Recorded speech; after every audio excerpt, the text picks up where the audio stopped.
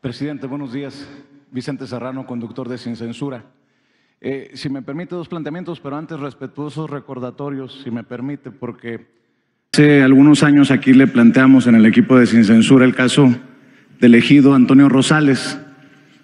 Muchos de estos señores en pie de lucha exigiendo justicia por las tierras Capetamaya, más de mil hectáreas en Navojoa, Sonora, siguen esperando que se destrabe esto que parece empantanado entre la falta de empatía de funcionarios en Sonora, la Procuraduría Agraria, la SEDATU, y siguen esperando justicia, presidente.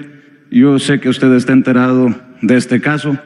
Y el otro recordatorio, hace más de un año estuve aquí para contarle el caso de la Clínica San José, en Abojoa también, mientras se cristaliza esto que ha anunciado eh, el director Zoé Robledo de mejorar la situación de la eh, salud pública, pues sigue el abuso de las clínicas privadas y parece que no tienen eh, contención y con total impunidad cobran. Yo le mencionaba hace más de un año un caso de negligencia médica que cobró la vida de mi papá. Usted me prometió, me dijo que lo iba a ver el secretario de salud y bueno, pues eh, nada más recordarle este caso que no se ha visto, porque después de esa denuncia se vinieron una ola de denuncias precisamente de la gente que han perdido sus terrenos, sus casas, sus ahorritos para poder pagar por el tratamiento, la salud o la atención de sus seres queridos, porque todavía no hemos llegado pues a tener ese, esa salud pública que merece la gente allá en Sonora y va a estas clínicas que le cobran lo que les da su regalada, su regalada gana, presidente, y disculpe que me emocione por el caso personal. Eh, ahora sí, los planteamientos, presidente. Estamos a punto de que el presidente de Estados Unidos, Joe Biden, anuncie un alivio eh, parcial migratorio el día de hoy. Podrían beneficiarse hasta un millón de personas, entre esposos, esposas, hijos, hijas de ciudadanos estadounidenses. Eh, también cientos de miles de soñadores, de dreamers. Usted hablaba de convencer, le respondía la compañera, de convencer en esta buena relación con Estados Unidos. ¿Usted se siente responsable que su tesón, su convicción, su insistencia lleve el día de hoy al presidente Joe Biden a anunciar este, este decreto, esta orden ejecutiva para beneficiar, insisto, parcialmente a cientos de miles o hasta un millón de inmigrantes indocumentados, presidente? Sí, Mira, primero eh, decirte que los dos asuntos que planteaste vamos a continuar eh, atendiéndolos. Tanto el asunto agrario, eh, le voy a pedir personalmente a Luis Hernández, que es el procurador agrario, que vea esto y que a ver si tenemos una respuesta lo más pronto posible. Y aquí este, al doctor Alcocer para la cuestión médica. Vamos a seguir adelante.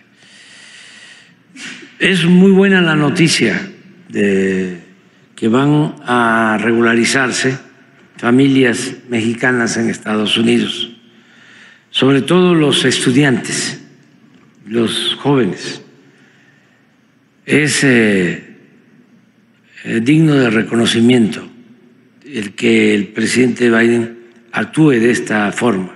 Nosotros hemos venido insistiendo en la regularización de mexicanos que llevan años trabajando honradamente en Estados Unidos y eh, no se les ha hecho justicia.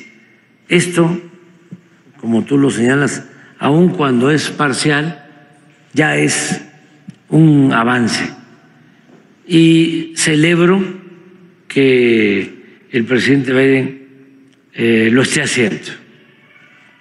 Hay toda una corriente antimigrante ¿no?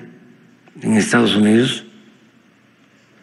Usan el tema migratorio con propósitos electoreros, politiqueros, y el que él tome esta decisión eh, habla muy bien de que es un hombre con eh, convicciones y eh, que está ofreciendo opciones alternativas para el tema migratorio. Y lo ha venido haciendo. No olvidar dos cosas del presidente Biden. Una, que permitió la entrada legal de migrantes. Es el primero que abre la puerta para que mediante procedimientos legales se pueda llegar a Estados Unidos. Antes no había eso. Todo eh, era el poder entrar eh, sin eh, opciones, sin alternativas legales. Solo existía lo del asilo, pero no era una vía eficaz ni masiva. Ahora son miles los migrantes que han hecho sus trámites y que ya están en Estados Unidos. Ya deben de ser alrededor de 500 mil de distintos países. Y lo otro que tiene que ver con lo mismo es que el presidente Biden es el único que no ha hecho muro, no ha construido muros. La última conversación que tuvimos me informó de que estaba autorizando, y esto corresponde solo al presidente de Estados Unidos, eh, abrir, auto, sí, eh, acordar abrir tres nuevos puentes fronterizos. Le comenté por teléfono. Entre otras cosas, va a pasar a la historia como el presidente que no hizo muros, pero que construyó puentes. Muy bien. Y se ha ido avanzando en esto de hacer conciencia en autoridades, los mismos ciudadanos de Estados Unidos que tenían una postura eh, muy antimigrante. Yo recuerdo que al principio del gobierno del presidente Trump, después de su campaña, llegó una pareja, está la crónica, de estadounidenses a comer a un restaurante en Texas, muy bueno, de muy buena comida, y le pusieron en la servilleta, al término, este, la familia excelente la comida, excelente el servicio, pero no queremos mexicanos. Así estaba. ¿eh? Eh, yo tengo, pues, eh, el honor de haber llevado una buena relación con el presidente Trump. Y recuerdo muy bien que por primera vez, después de esa política antimigrante, en una carta me reconoció por primera vez de que el problema de la migración no se iba a resolver solo cerrando las fronteras, militarizando las fronteras, sino que había que atender las causas. Ahí tengo la carta, pero les estoy hablando de 2019. Y luego, en el 20, que voy a la Casa Blanca, su discurso es un reconocimiento a los mexicanos que viven, trabajan honradamente en Estados Unidos y contribuyen al desarrollo de esa gran nación, de trono. Entonces, lo que está haciendo el presidente Biden, muy bueno, lo celebramos, lo reconocemos y es el camino a seguir. Estamos eh, teniendo buenas relaciones, estamos mantener buenas relaciones, eh, política de buena vecindad, eh, ir haciendo a un lado el afán intervencionista, respetar las soberanías de los pueblos, de las naciones y la cooperación económica, en eso se ha avanzado muchísimo. Presidente, pero esto que va a anunciar Joe Biden es parte de lo que usted le ha planteado. No, es parte de las circunstancias, de la nueva política, de la nueva política. Yo nada más digo... La sonrisa lo delata, presidente. No, no, no, les voy a mostrar los 10 puntos que le leí hace seis meses. Nada más uno, el primero. A ver si pone los 10 Pero pero habla de un, de un liderazgo que usted encabeza de México con, con esto de eh, reconocer, ¿no? Él es muy experimentado políticamente. Él tiene mucho más años en política que yo.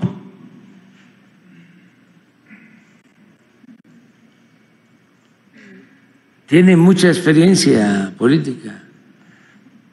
Nos identificamos por eso platicamos cuando hemos estado platicando solos y llegan, ya ven cómo son las cosas, ¿no? De las agendas. Empiezan a llegar con tarjetas de que ya se les acabó el tiempo y él las hace a un lado, las hace a un lado. Quiere seguir, quiere seguir platicando. O sea, es buena la comunicación. Pero miren el primer punto. Entonces sí, presidente.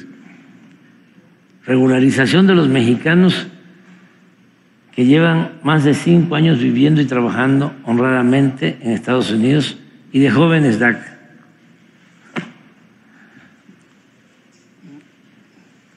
Se va avanzando. Pero eso es exactamente lo que va a anunciar hoy. Solamente que en lugar de cinco años viviendo en Estados Unidos van a ser diez. Sí. sí. Y limitado porque son muchos más, pero ya es un avance que en una campaña un candidato diga esto, sin temor a que lo van a cuestionar, porque está abriendo las puertas a migrantes que llevan droga. O que van a cometer ilícitos o que son maleantes, porque ese es el discurso falsario, ofensivo hacia la migración. Entonces, ya es un avance y este, es digno de reconocerlo. Presidente, y en el segundo planteamiento, si me permite, eh, vamos de una campaña de todo es culpa de López Obrador, ¿no? De, desde Xochitl Gálvez, que ayer dice que el país está desmoronando, a un Claudio X González, con mucho respeto, presidente, que lo llama inepto, hasta los chuchos que dicen que es culpa de usted que, que pierde el registro del PRD. Eh, ¿Qué llamado haría para que después de esto de todo es culpa de López Obrador, no se vaya a convertir una campaña con la doctora, la presidenta electa Claudia Sheinbaum, en una campaña constante de tono misógino, porque creo que es evidente lo grosero de las campañas contra la doctora, eh, entre que usted le impone y usted le dicta, y en medio de esa campaña en medios y rivales políticos, hay luces, ¿no? Eh, quiero eh, eh, mencionarle la columna que escribe mi compañero y amigo, el abogado César Gutiérrez Priego, que pregunta, ¿está listo el ejército para tener una comandante supremo mujer?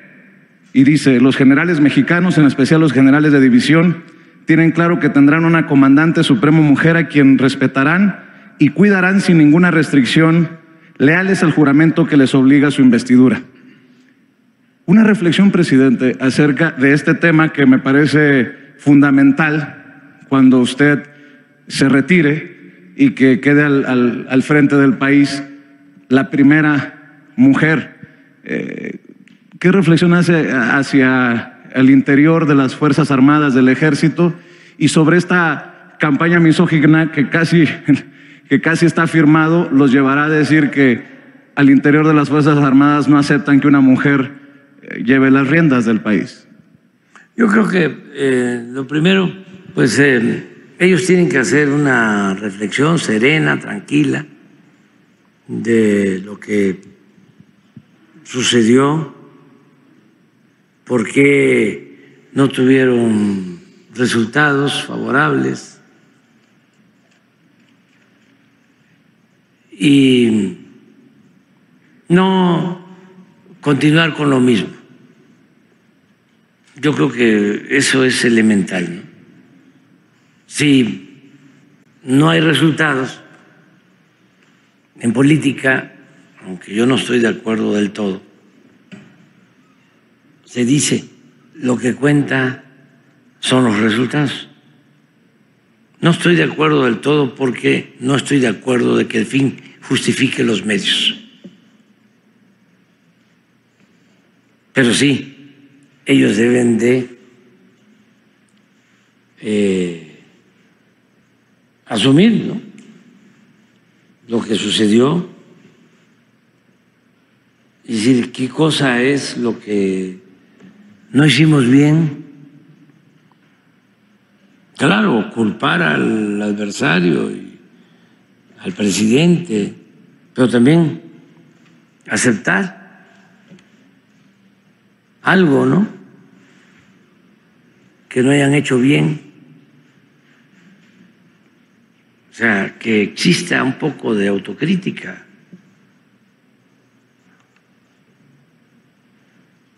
Y yo pienso que lo que les falló, y es un asunto estructural, nada fácil para ellos de remontar, es que no le tienen ni amor ni respeto al pueblo.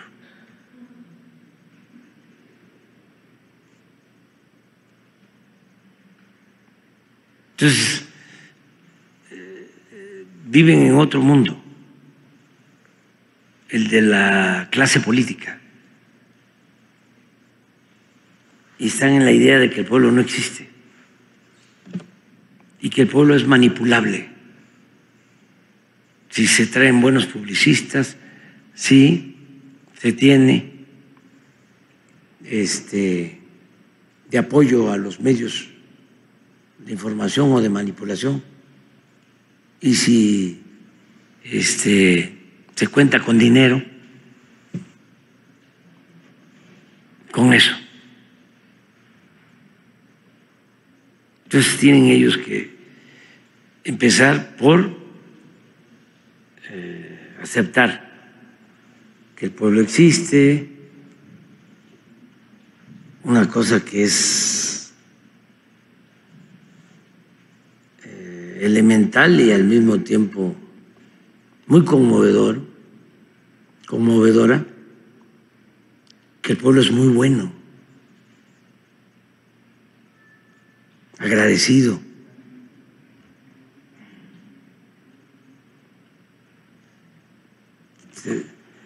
Y si nos cuesta trabajo llegar a eso, pues cuando menos respetar al pueblo, no sentirnos más. No existen las razas, técnicas, científicamente hablando. ¿Por qué el racismo? Ahí está todo. Y eso no solo aplica para ellos, aplica para todos, inclusive para nuestro movimiento. Que no vayan a sentirse, ¿no? De que ya son los parlamentarios, los políticos, y le den la espalda al pueblo. Porque siempre hay esa tentación. Además, son siglos de aplicación de esa política. Siglos. No pudo la revolución cambiar eso. No pudo. Se avanzó en el terreno social, pero en el terreno político siguió lo mismo. Claro, con matices, pero aparato, ¿no? De dominación.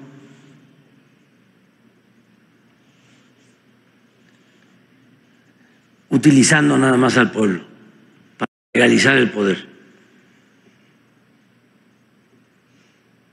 Entonces, eso tiene que cambiar. Yo hablaba con, porque platicamos en estas giras con Claudia, y nos reíamos porque a ella le tocó repartir volantes. Yo también repartí volantes. Y hablábamos eso, de cuando llegaban, primero académicos, ¿no? Estaba de moda la Complutense de Madrid y las nuevas políticas públicas, me acuerdo. Y desde luego las universidades del extranjero. Y nos llegaban de posgrado, con nivel de maestría, doctorado, o políticos eh, famosos, parlamentarios, y se les eh, elegía candidatos y se les decía, este, aquí está tu volante, aquí está tu morral para el volante, tu sombrero, tu gorra y tus tenis. 150, 200 casas diarias. Soy fulano de tal, soy candidato a diputado federal, aquí le dejo esto, un volante, necesitamos cambiar, hay que acabar con la corrupción. Lo podemos lograr. Y estoy a las órdenes. Y a otra casa, y a otra casa, y les decíamos, cuidado porque eh, te van a cerrar las puertas, en algunas, no queremos saber nada de ustedes, pero en otras te van a abrir la puerta y no solo te van a abrir la puerta, te van a decir, siéntese, no se va a tomar algo. Digo, pues ya les decíamos, no les va a dar tiempo de terminar la tarea de las 150 casas diarias. Imagínense cuántas casas en una campaña. Miles. ¿Qué creen que nos decían algunos? La verdad, la verdad, este, tenían una palabra, una frase, yo doy para más. no, no, no queremos que des para más, queremos que des para esto nada más. Porque hay esa idea. Entonces, en el movimiento nuestro, eso se tiene que cuidar. Nada de que, ya, parlamentario. Y este. Y el escritorio, no, no, no, no territorio, no escritorio. En el caso del gobierno, en el caso del partido, que son cosas distintas, seguir abajo y organizar al pueblo, organizarlo bien, seguir con la eh, revolución de las conciencias y seguir este, trabajando de abajo hacia arriba. Pero eso es general para todos los partidos. Ahora, si van a estar reuniéndose con Claudio X González en Polanco, ¿no? este, en las grandes residencias y ahí tomando acuerdos. Eh, y hay un publicista en Miami que es extraordinario. Claro, es duro, ¿eh? es muy duro. Eh, porque este, no se va a limitar, como decía otro publicista aquí, ¿no? Tiene que ser eh, con puras mentiras. La campaña tiene que ser de mentiras.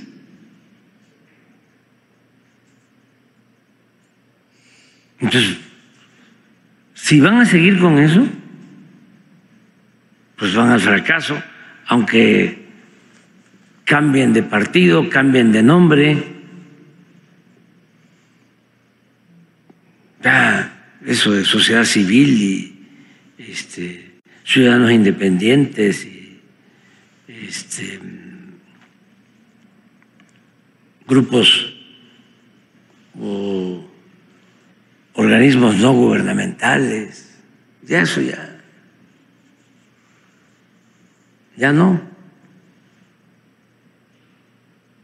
Pues van a continuar con sus eh, campañas de, de ofensas, ya no va a ser lo mismo también, porque no es igual que este Claudio diga que yo soy un inútil, inepto, a que diga que Claudia es inútil, inepta, es distinto. Es distinto, sí. Me dice eso y pues no tengo ningún problema. porque a lo mejor tiene razón. Pero este se enojan los que simpatizan con nosotros, yo no, porque ya les he dicho, cuando uno lucha por una causa justa, que él no lo está haciendo, uno debe estar dispuesto a pagar cuotas de humillación. Acaba de salir una canción muy bella de Silvio sobre eso. Esa la recomiendo, de su nuevo disco. Eh, esa y América, que es otra canción que me gusta mucho, del nuevo disco de Silvio, para los jóvenes y no tan jóvenes. Pero eh, no es lo mismo eh, la ofensa a una mujer, es distinto. Además, no tienen eh, razón. Yo les aconsejaría que se serene y que definan una estrategia. Se necesita la oposición. Se necesita que haya contrapesos, pero que sea una oposición eh, que aporte que sea crítica, desde luego, no sumisa, que no sean paleros, pero que eh, estén pensando en intereses superiores, en intereses generales, que estén pensando en la gente, que estén pensando en la nación.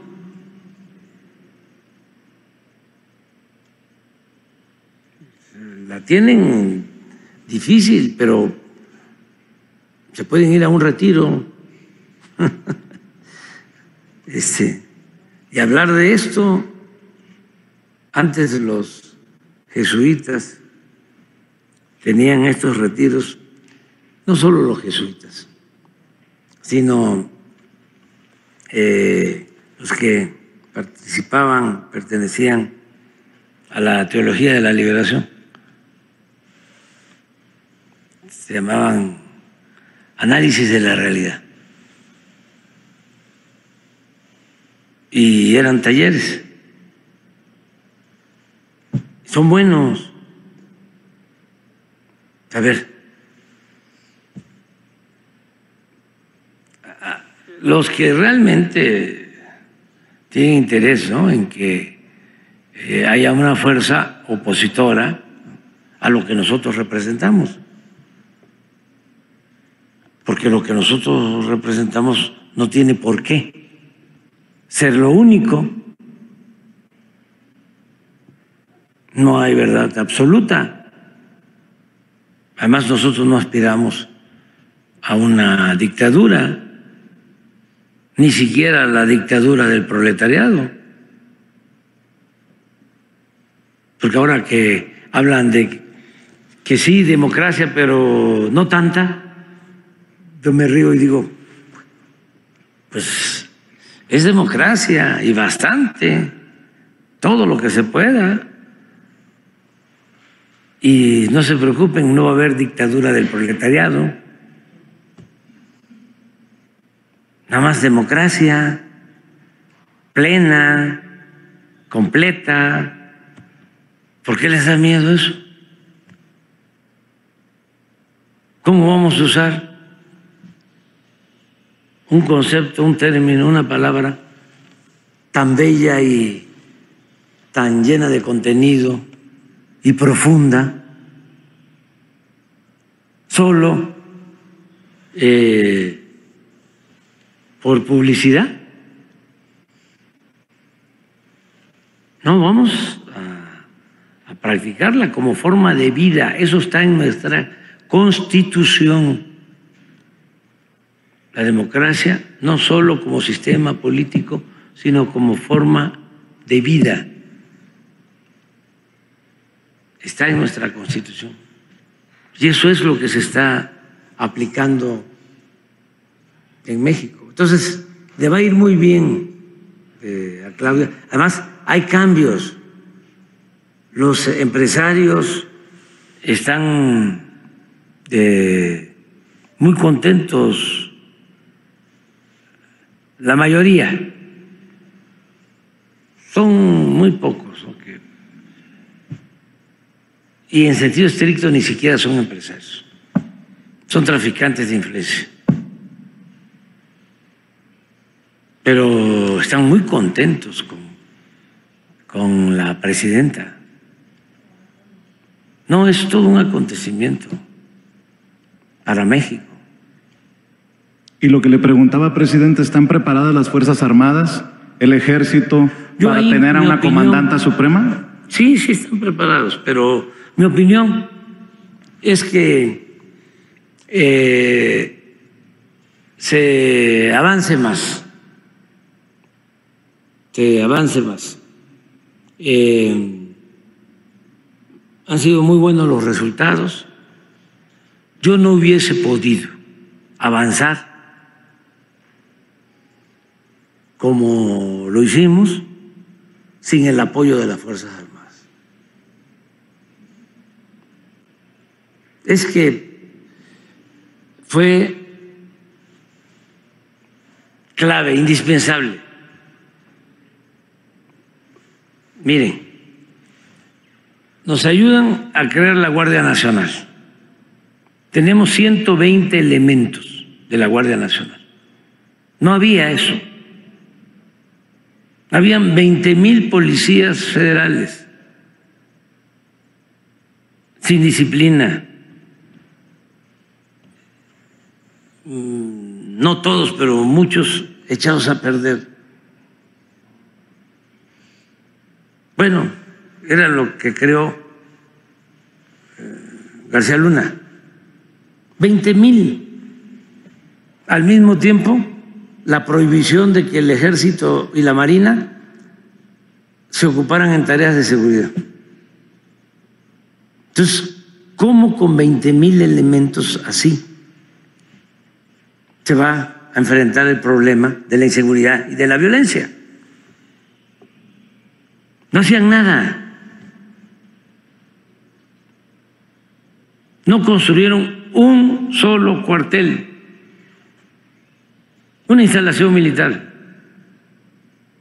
Ya está la Guardia en cinco años, 120 mil elementos profesionalizados, con disciplina y 400 instalaciones en todo el país. Ahora el domingo vamos a inaugurar una en Oaxaca, con unidades habitacionales, con instalaciones de la Guardia Nacional. Toda una institución. ¿Quién nos ayuda a crear esa institución? La Secretaría de Defensa y también la Secretaría de Marina. Pero luego, en todo lo relacionado con el apoyo social, ¿qué hubiésemos hecho si no contamos con el ejército y con la marina para la distribución de más de 200 millones de dosis de vacuna para enfrentar el COVID? En cinco meses resolvimos la vacunación de todos los adultos mayores con una primera dosis. Pero la logística de distribución por todo el país a cargo de ellos. ¿Cómo íbamos a construir? Tenemos 2.750 sucursales del Banco del Bienestar. Es el banco con más sucursales en todo México. ¿Cómo terminamos las sucursales? Las equipamos con cajeros, eh, se les conecta con Internet sin los ingenieros militares.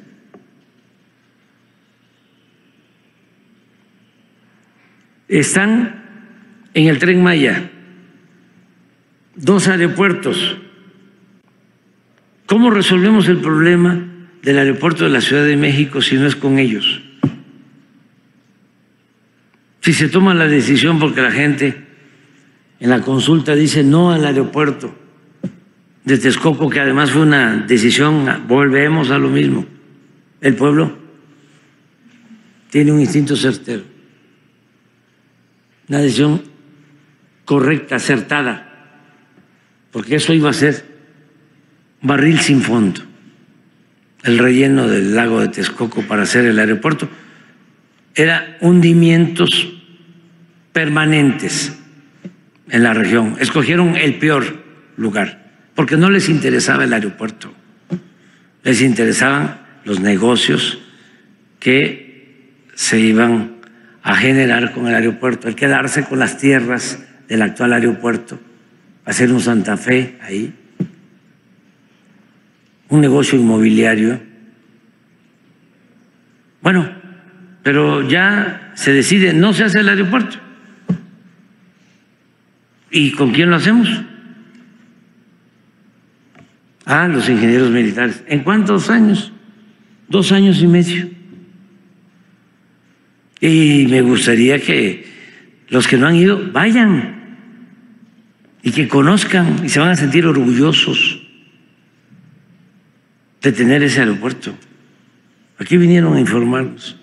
El aeropuerto de Tulum, el aeropuerto de la selva. Un año, cinco meses. Ya hay vuelos de Europa y desde luego de Estados Unidos y de México. ya eh, tiene, lo inauguramos apenas en diciembre y tiene mucho movimiento.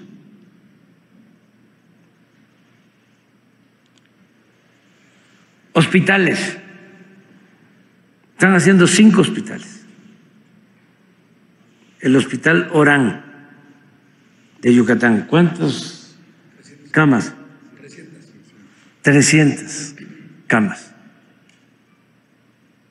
Y lo terminamos en septiembre. El hospital de Tlapa Guerrero, de la montaña, y el de Tuxtepec, Oaxaca. el de aquí de sí, Iztapalapa, en la avenida Zaragoza, y el de Puebla, San Alejandro de Puebla. Cinco, los ingenieros militares. Están haciendo el sistema eh, de eh, manejo de agua, el distrito de riego más grande que estemos construyendo, 42 mil hectáreas, que se van a terminar las 42 mil hectáreas en septiembre, los ingenieros militares. Caminos por todos lados. Aprovecho para anunciar que se va a ampliar el camino de Oaxaca a Islán hasta eh, Guelatao, bueno, hasta Islán. Se va a ampliar el camino. Y también aprovecho para decirles que en julio vamos a inaugurar el camino de Benito Pablo. El camino que tomó el presidente Juárez cuando salió de Guelatao hacia Oaxaca. Lo estamos reconstruyendo. En medio se están construyendo unas cabañas para que el que quiera caminar, ir en bicicleta, eh, es una peregrinación. El camino de eh, usar este camino, esta vía de Benito Pablo, una peregrinación laica. Este, y con las Fuerzas Armadas, muchas cosas, muchas cosas, este, mucho apoyo. La Marina igual, dragado, nada más resolver el problema del sargazo en el Caribe, que cuando llegamos decían, no, se va a acabar el desarrollo turístico por el sargazo. No, no, no, no, no se va a acabar. Y este, la Marina y el control de los puertos, la Marina. Y ahora este proyecto que es de dimensión mundial, el transísmico por el paso para unir el Atlántico con el Pacífico, la Marina y muchas cosas. Entonces, las Fuerzas Armadas me han ayudado, me han apoyado. Y eh, cuando han cometido errores en el gobierno nuestro, ellos mismos han eh, rectificado. Ellos mismos ponen orden, no se oculta nada, porque un soldado, un marino no es una institución. No se puede proteger a nadie, no debe haber impunidad. Y han avanzado mucho en el respeto a los derechos humanos y depende también del comandante de las Fuerzas Armadas, porque pues ellos reciben órdenes y hay lealtad al presidente y hay lealtad al pueblo de México.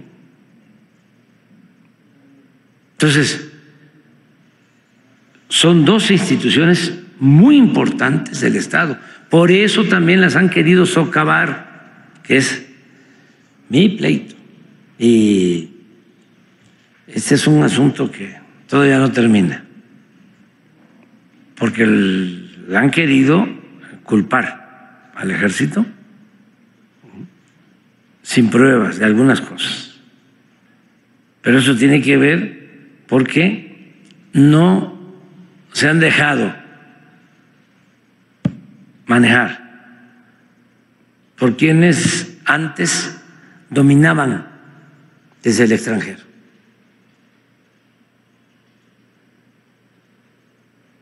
Entonces, Muchos casos son venganzas. porque es una práctica perversa, mafiosa. Es decir, en otros países necesitamos tener presidentas, presidentes débiles para que podamos nosotros eh, poner nuestras condiciones. Ejemplos.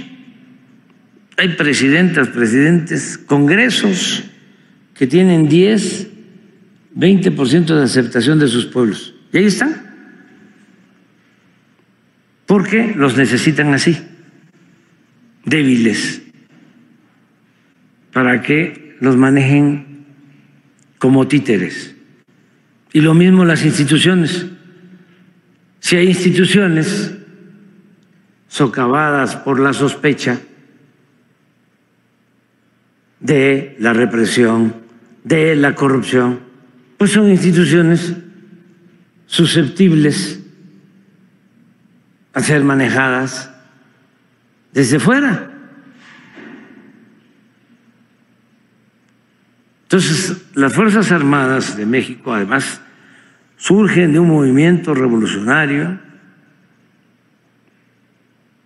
El ejército mexicano, no hay que olvidarlo, lo creó Venustiano Carranza luego del golpe contra el presidente Madero. Eh, surge para restablecer la legalidad y la democracia. Y es un ejército popular, un ejército revolucionario. No hay generales de división que pertenezcan a la oligarquía. Es distinto este ejército al de otros países. Aquí sí es el soldado y el marino, soldado pueblo uniformado. Entonces, si me preguntas, este, ¿qué opino sobre una mujer secretaria? Te diría, ah, es un proceso. Por ahora hay muy buenos generales de división. Muy buenos generales de división. Le preguntaba, presidente, perdón, nada más para aclarar.